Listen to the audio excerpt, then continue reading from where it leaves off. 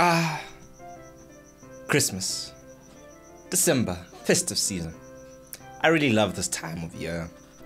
Family gets together, braais happening all over, you know, crushes are coming back from school, and all that kind of stuff, you know.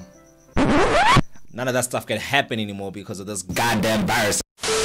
You know, the weirdest thing happened is that we came from a what a 21 day lockdown that ended up being day 200 and what 210 today. I might be wrong. Things were starting to look up. You know, restrictions started being released. Uh, I mean, they were terrible. So we had level five lockdown, man. No alcohol. Like that was the one that really killed me the most. Forget about the places they can close down. They can close down the restaurants and all that kind of stuff. But then the alcohol. That was a real hard one. But we made it. We survived. And when the restrictions came up, cigarettes are being sold again, alcohol was sold again. We can go around, but we had to wear these dumbass masks everywhere we go. And like, I can tell you right now, it went completely off the rails. Like, it just went off. Like, I would go to an event and I would see people wear masks in the weirdest way. Where's my mask? I want to show you how. God damn, where's my mask? Where's my mask? I would see people wear masks, they put it over the mouth, or 10 minutes later, now it's hanging off the one side of the ear, or it's above their head, or behind their head, or completely on the floor. And I had this prediction that we are definitely gonna go back to lockdown in December because you cannot control black people in December. Zimbintin. This shit's gonna go out of control and it's gonna go everywhere. Cause like, let me just tell you what just happened. I just got the news now from uh, good old Uncle Cyril Ramaphosa, and uh, he's he let us know what's happening now. We're going back to lockdown. Well, a controlled, a more controlled lockdown, and we're getting off this. Uh, apparently this national disaster act or whatever like that but we've been transferred from that act to another act by the, the, the world health organization and all that kind of nonsense. So it's not really doing anything much for us. What's happening actually and the funny thing is now it's starting off in uh, um, what you call Port Elizabeth and Cape Town all that kind of stuff where they're starting over there and it's gonna slowly move on to us and especially with me i stay in free state so i know i'm definitely definitely definitely gonna get on because our case numbers have been rising up. But anyway so the first thing that's happening they're introducing a new curfew time 10 o'clock back home. No leaving no going anything at 10 o'clock and between midnight and 4 a.m full closed roads are closed and everything like that uh, there's been restrictions to public gatherings, I believe, so uh, nobody's going anywhere to do any kind of thing. So if you're planning on having a big, you know, 5,000 event where a lot of people are coming, you can forget about that because that ain't gonna happen, which sucks. But luckily now they're still keeping the the, the, the restaurants and the the, the uh, uh, clubs and everything open, but uh, still retaining that 50% cap uh, max capacity and stuff like that. So yeah, you can still fit 250 people in a club, not that bad.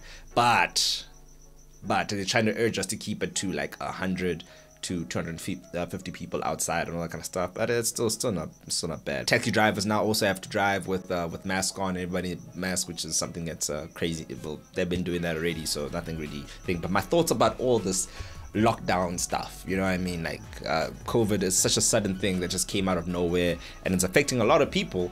I won't lie but I feel like if they want to implement something like this, they should have implemented it four weeks ago because of the whole. Now, like we're in December right now, and now you want to give restrictions. Got into the. We had no chance to prepare ourselves. We had no chance to go get ourselves some supplies or anything like that. Today, right after they said that, we are back into lockdown. And now, if you've given people at least a, a week's notice, but also that could also uh, make panic and all that kind of stuff. But I also kind of predicted that would be a lockdown coming back in here. But eh, it is what it is.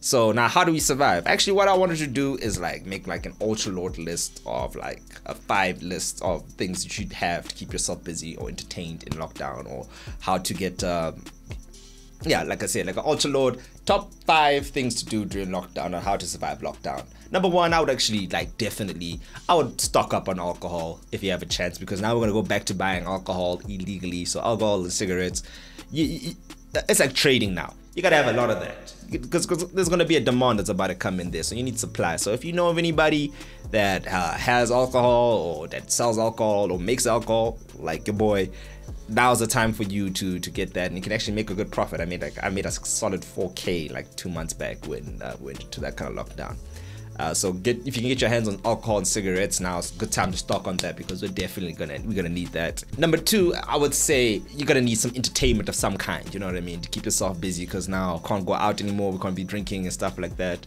So I would definitely stock up on something that can get me like entertained or whatever like that. So like you know get your airtime, get your datas right, and all that kind of stuff because you're not gonna go out anytime soon.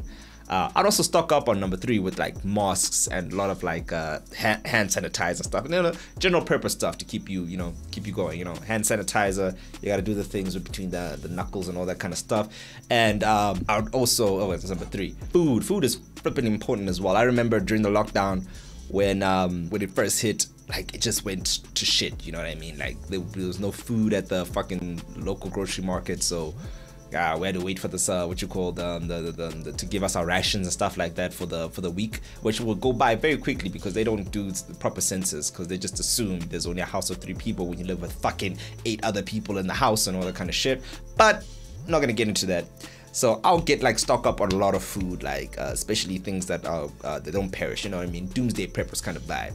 Canned food, beans, uh, sultana, tuna. Get on that point. Things that don't perish so long because we don't know how long we're gonna stay in this lockdown this time. And uh, things like that, they're quite relatively cheap. You know, canned food. Canned food can go. Maybe you get like a canned canned turkey, canned chicken. You never go wrong. Uh, so that's number four. I'm on number four, right? I think I'm on number four. I'm not gonna go back and check, but I'm on number four. Uh, number five. What's the most important thing to get? Especially now if you're gonna be living in like times like this where we can still kind of go out, but not really go out. Yes, sis. No, no, what would be my number one? Put in, in, in the comment section what would your number one be. I'm gonna take a little sip of what remaining alcohol I have left because it ain't coming back. No, well, I have no idea what I'm gonna have for number one. Number one, I'll, I'll leave it open. I'll get like probably some some handy dandy things to like grow food or something like that. I don't know, just to be self self sustained or have self like to keep yourself going, all that kind of stuff.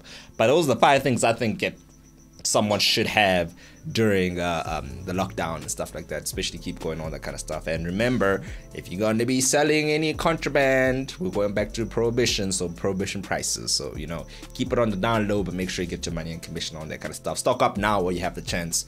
I'll definitely do that, and also stay safe in December, man. Guys, don't just be willy nilly going around traveling and infecting people all that shit, you know what I mean? We don't need that kind of stuff. We don't need that kind of stress. It's supposed to be a good time. It's supposed to be a help, you know, one time everybody all good and shit like that. But now we're stuck indoors again. Sad. But anyway, if you like videos like this, please do hit that like and subscribe button. I'm going to remind you a second time to hit that like and subscribe button. Guys, I'll check you in the next video. Peace.